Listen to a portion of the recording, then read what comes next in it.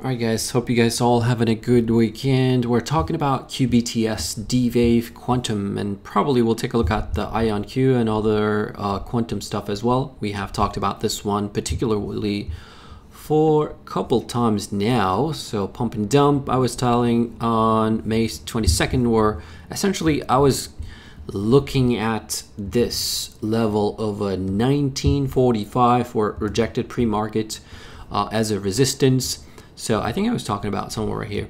So would it come up today? We didn't do much. And there are a few things I want to show. So the very first one, yes, these names are pretty, uh, yeah, we all know they're expensive, they're overvalued and all that good stuff. But volume is there. Uh, but um, in the last, after this breakout of a gap up, what, what we had from 1323-ish, this is the all-time highs was prior to this breakout. So it gapped over and pushed higher. And if you take a look at it, this is the day when it had printed the largest volume. So 300 plus million volume traded. And then the next day lower, and then uh, following day a little bit of more volume. But today on Friday, I mean, it looks like a lot of people took off uh, early because it's um, essentially long weekend. We have Today, almost half the volume, so 155. But it doesn't mean that this stock could still squeeze more. But it's just, for me, like, I, I tried to go long, I tried to go short uh, way before if I switched to maybe like one hour chart. It was so tricky to trade it as a breakout trader somewhere around here. Both long and short, I got smoked so ever since I haven't touched it, so I'm not trading it personally, but I'm watching these particular levels. Essentially, $20 looks like being a psychological level now because pre-market people, I mean, it looks like uh, it did try to push uh, printed $20.30 and then it just flushed down uh, with overall market it was pulling back as well off the uh, Europe um, headlines were essentially S&P 500 was pulling back. Everything was pulling back, but then it just bounced right back up and just finished the day somewhere around $18.80. So for me, um, if it just gets pretty heavy and it just distribution happens here and pretty much chops in this range and never gets back above eight, uh, $20 and starts fading uh, $17.83, then I would sure be looking uh, to the downside. But again, I don't believe at these prices uh, for these quantum stocks, uh, we'll take a look at the rest of them too, the risk is to the upside. I still believe that by trading, swing trading, particularly these trade uh, stocks, the risk is to the downside. Yes, sure, it can squeeze, no problem, but these valuations are just getting a bit ridiculous at that point. But again, I don't have a position. So here, here's my list actually. So today, QBTS slightly negative, okay? So 1.2%. On the other hand, we had IonQ, which was flat. So, and there was uh, Qubit, which was a bit of a play today, where people just traded it, pushed higher. But if I switch, let me just show you on a daily chart. So Qubit, way far uh, below its all-time high. So still lower high we're considering it okay? So the only strong name could be uh, we have QBTS which is still near its all-time highs uh, versus everything else out there. Rigetti same thing. It traded at 21-ish level 21 24 and today I mean it's, it's just sitting at 14 today it was 1% up. But as volume fades so my point is, people will start taking a profit, and uh, essentially, if you're trading options, options will start decaying. Like if you look at the Ion IonQ, the fact that it had two days of a squeeze today, like half the volume from yesterday, it can't just go back to doing this shenanigans of just sitting in the range, or of course, it can flush down as well. But for me, no, I don't believe that this is I mean, sure, there's a probability, there's a possibility all the time that this could push higher. So all-time highs, again, still, IonQ hasn't made an all-time high, but this is 11.3 billion dollar company. This is just a bit insanity. If you just go take a look at the S&P 500 and just pull up any other stock that is like 11 billion dollars, uh, Roku. Most of you maybe even subscribed. Roku is um, at $69. It is a $10 billion company. Okay. Uh, Moderna, 10 billion. Uh, BXP, this is a REIT. They pay dividend. This is a $10 billion company. Toll Brothers, this is a builder. It is a $10 billion company at 104, still cheaper than freaking uh, IonQ, which pretty much doesn't do shit. Uh, sorry, Ally Bank, De, DaVita, 11, 10 and a half, Cardano. Uh, what is it? What do we have? Akamai, Tempus, uh, we have TAP, uh, BMR. I mean, this is just different. Uh, these, I mean, I don't agree. Like, I mean, this is a biotech. Okay, that's fine. But there are just so many names out there that are valued at these valuations uh, versus these quantum names. This is just a bit insane.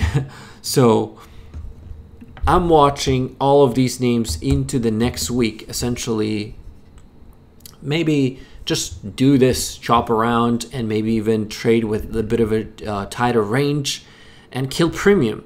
Uh, of course, it can come flushing down, but for me, in order to trade these names uh, to the downside, I want them at least below their five day moving average. So on my chart, I'm not sure if you are seeing, this is just a line, five day moving average right there. You can pull it up on your own chart as well. But QBTS yesterday, it just bounced off that uh, five day moving average. You can see where it is today. So anytime stock has a momentum, this is just a perfect indicator for me uh, to watch as a momentum to the upside. So as long as it's just catches a bit at these five day moving average levels, yeah, sure. Momentum is to the upside. It's still bullish for me. No need to fight it. And if you just go back last time when it had a rally like this, you can see how it just as soon as it cracked that five day moving average, people started pretty much shorting it. Instead of supporting it at that level, as soon as stock just reverses the trend, it will become resistant. That's why I like watching five day moving average. Uh, even, I mean, pretty much in any name, doesn't matter what kind of stock it is. Is it a small cap? Is it a hype name? Is it a meme stock? Or is it a blue chip, NVIDIA? Doesn't matter. So essentially, anytime any of those stocks trade below their five day moving average, I watch them um, essentially if it's in a downtrend to the downside, if it's in an uptrend to the upside. So QBTS, can it push a little bit more? Sure.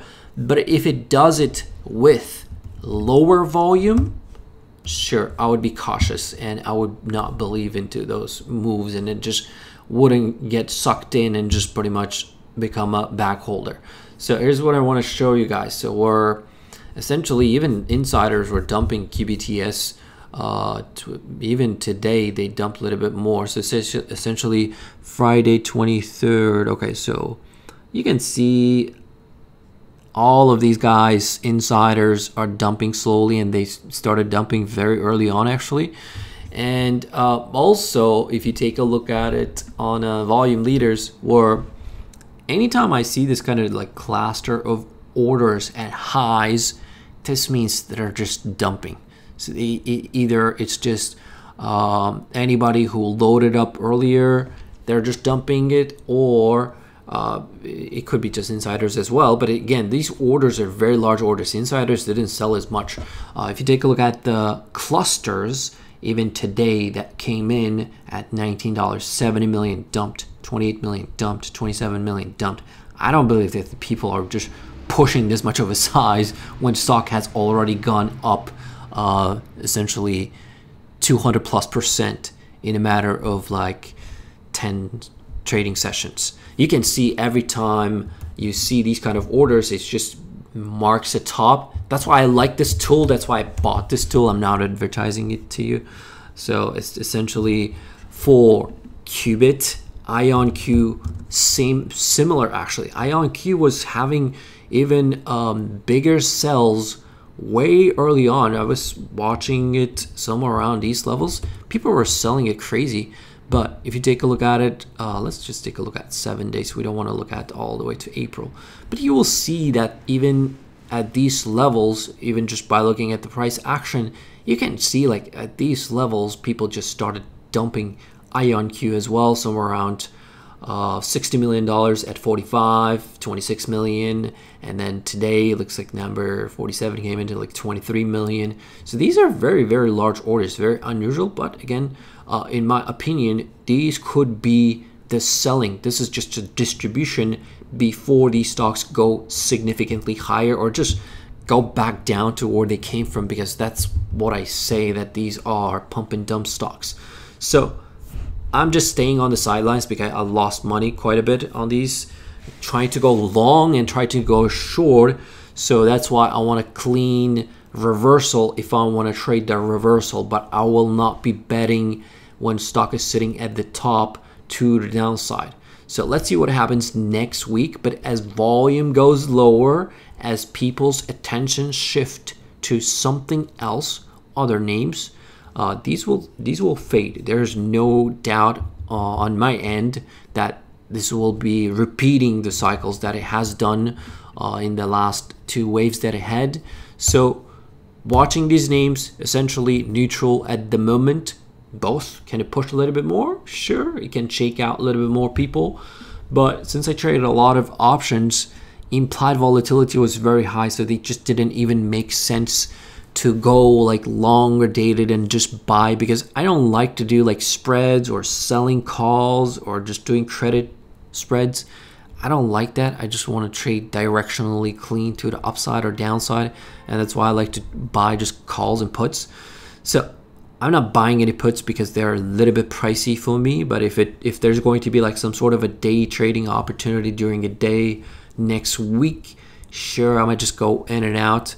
But option activity, you can see there's uh, yeah, a little bit more call activity, a little bit less put activity.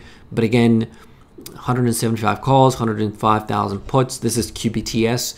But if you take a look at it where they were executed, the people could have been maybe selling puts and just selling calls as well and just doing a bunch of spreads. But we're not going to dive into option activity because I believe uh, it has already moved significantly, and there's no reason for these stocks to be valued at, a, at these like ridiculous valuation levels where I just already gave you an example. Like Roku worth with so much revenue, only $10 billion, uh, and it's cheaper than IonQ at this point. So that's what I'm watching for quantum names going forward, going into next week. Uh, this is not a buy or sell recommendation. This is purely for entertainment and educational purposes only. Thanks for watching. See you in the next one.